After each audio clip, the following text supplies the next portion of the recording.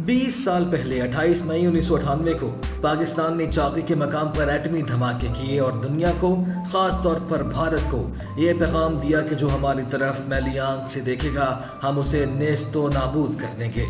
اس موقع پر ڈاکٹر عبد القدیر خان کو، جو کہ پاکستان کے مایا ناز ایٹمی سائنسدان ہیں، انہیں پاکستان کی ایٹمی صلاحیت کا بانی اور ہیرو قرار دیا گیا۔ اور ابھی تک انہیں فادر آف اٹامک پاور بھی کہا جاتا ہے۔ دوستو، آج کی ویڈیو میں ہم بات کریں گے کہ کیا پاکستان کو ایٹمی طاقت بنانے کا صحرا صرف ڈاکٹر عبد القدیر خان کے سر جاتا ہے یا اس عظیم اور پاک مشن میں اور لوگوں کی خدمات بھی شامل ہیں؟ خواتین و حضرات، اس میں کوئی شک نہیں کہ ڈاکٹر عبد القدیر خان پاکستان کے ہیرو ہیں۔ ہماری آج کی ویڈیو کا مقصد بھی ہرگز یہ نہیں کہ ڈاکٹر عبد القدیر خان کی محنت اور قربانیوں کو ہم ڈی گریڈ کریں، بلکہ ہماری آج کی ویڈیو کا مقصد یہ ہے کہ باقی وہ تمام لوگ، باقی وہ تمام سائنسدان جن کا ذکر آج ہم نہیں سنتے، ان لوگوں کی محنت کو بھی سب کے سامنے لایا جا سکے۔ دا اردو ٹیچر میں آپ تمام حضرات کو خوش آمدید کہتے ہیں۔ ابھی تک آپ نے اگر ہمارے چینل کو سبسکرائب نہیں کیا تو ابھی دا اردو ٹیچر کو سبسکرائب کر لیجیے اور بیل آئیکن پہ بھی کلک کریں تاکہ وہ تمام ویڈیوز بر وقت بذریعہ نوٹیفیکیشن آپ کو مل جائیں جو ہم صرف آپ کے لیے لے کر آئیں گے۔ دوستو، اب سب لوگ جانتے ہیں، جب پاکستان نے ایٹمی دھماکے کیے تو پاکستان پر اقتصادی پابندیاں بھی عائد کر دی گئیں اور امریکہ نے یہ مطالبہ کیا کہ یہ ٹیکنالوجی دوسرے ملکوں کو فراہم کی جا رہی ہے۔ ڈاکٹر عبد القدیر خان کو ہمارے حوالے کیا جائے۔ اس کے بعد آپ سب لوگ جانتے ہیں کہ ڈاکٹر عبد القدیر خان لمبے عرصے اپنے گھر میں نظر بند بھی رہے۔ جب اس حوالے سے سابق صدر پرویز مشرف سے گفتگو کی گئی تو انہوں نے ایک انٹرویو میں کہا کہ ڈاکٹر سمر مبارک من نے بھی اس آپریشن میں، اس پاک مشن میں اہم کردار ادا کیا تھا۔ صرف ڈاکٹر عبد القدیر خان کو فادر آف اٹامک پاور کہنا مناسب نہیں ہے۔ پرویز مشرف کہتے ہیں کہ نیوکلیر بم بنانے کی کئی اہم سٹیجز ہوتی ہیں۔ اور ایٹم بم بنانے کے لیے یورینیم کی افزودگی ایک انتہائی اہم عمل ہے۔ پرویز مشرف نے کہا کہ یورینیم کی افزودگی میں ڈاکٹر عبد القدیر خان کا کوئی کردار نہیں تھا، بلکہ ان کا کردار یورینیم کی انریچمنٹ کی ٹیکنالوجی پہ تھا، کیونکہ یہ ٹیکنالوجی ڈاکٹر عبد القدیر خان نے بڑی محنت سے بنائی۔ پرویز مشرف کہتے ہیں کہ یورینیم انریچمنٹ کی ٹیکنالوجی یہ لائے اور بہت اچھا کام کیا۔ ڈاکٹر عبد القدیر خان نے سینٹری فیوجز کے ذریعے یورینیم کی انریچمنٹ کی جاتی تھی۔ پھر اس کے بعد ایٹم بم بنانا تھا، الگ ڈپارٹمنٹ جس میں انوالو تھے۔ اس کے بعد میزائل میں فٹ کرنا تھا ایٹم بم کا سائز چھوٹا کرنا تھا تاکہ میزائل میں فٹ کیا جا سکے۔ پرویز مشرف نے کہا کہ پھر میزائل ڈیولپمنٹ ڈیلیوری سسٹم بنایا گیا اور اس میں بہت سارے دیگر سائنسدانوں نے بھی بہت زیادہ محنت کی، بہت زیادہ کام کیا۔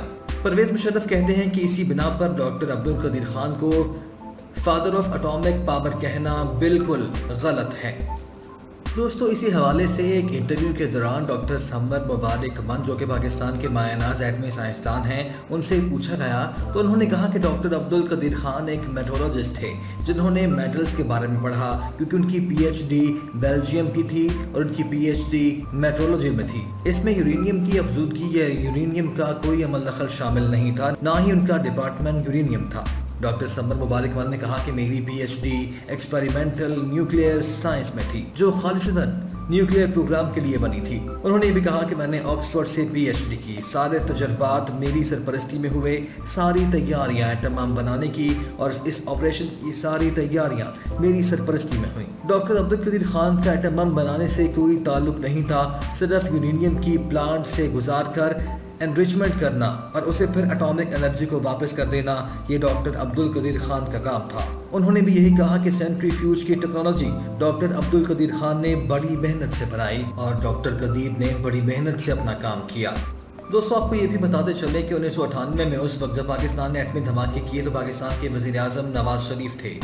اور نذیر ناجی جو کہ ایک صحافی ہیں، ان واقعات کے جو شمدید گواہ تھے، انہوں نے اپنے کالمز میں ان حالات کا ذکر کیا ہے۔ دوستو نظیر ناجی لکھتے ہیں کہ بھارت نے جب ایٹمی دھماکے کیے تو نواز شریف نے دھماکوں کے فوراً بعد ہی اپنے سائنسدانوں اور ماہرین سے مشاورت شروع کر دی۔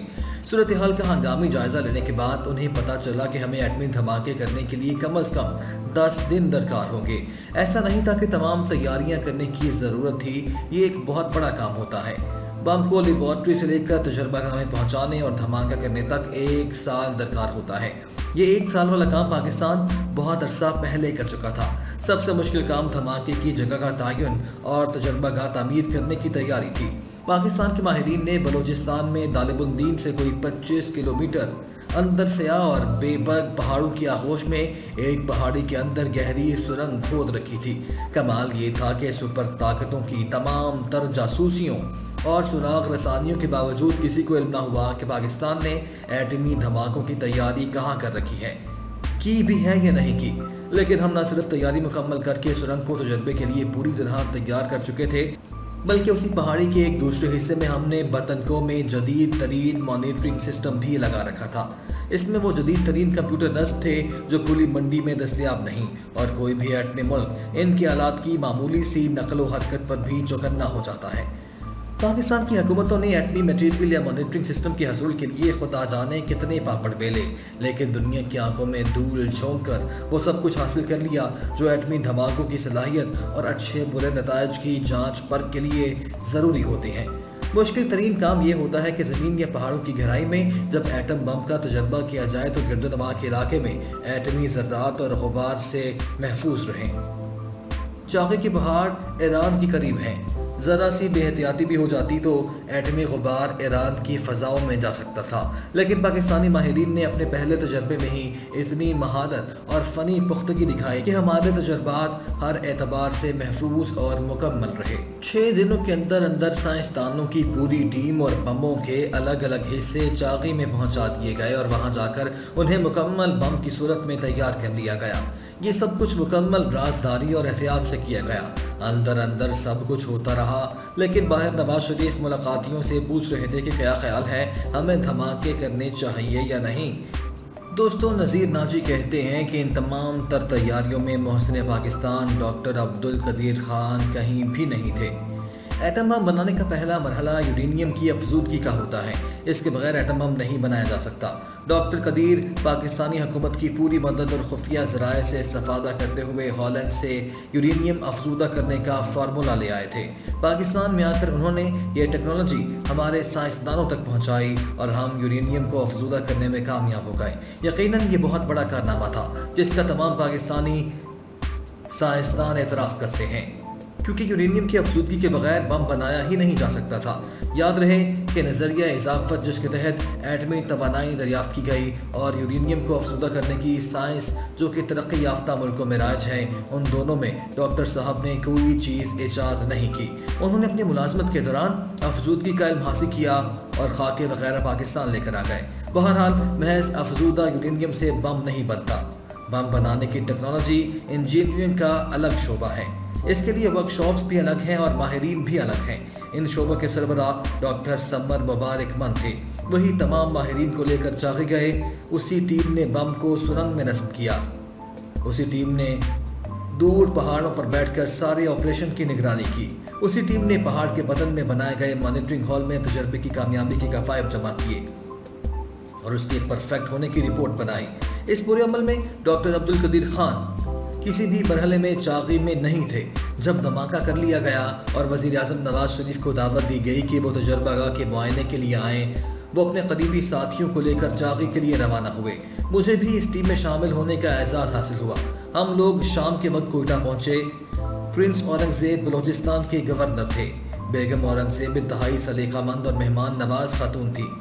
خیر، ہم گورنر ہاؤس میں رات کی کھانے کی تیاری کر رہے تھے کہ اچانک ڈاکٹر عبد القدیر خان بھی تشریف لائے۔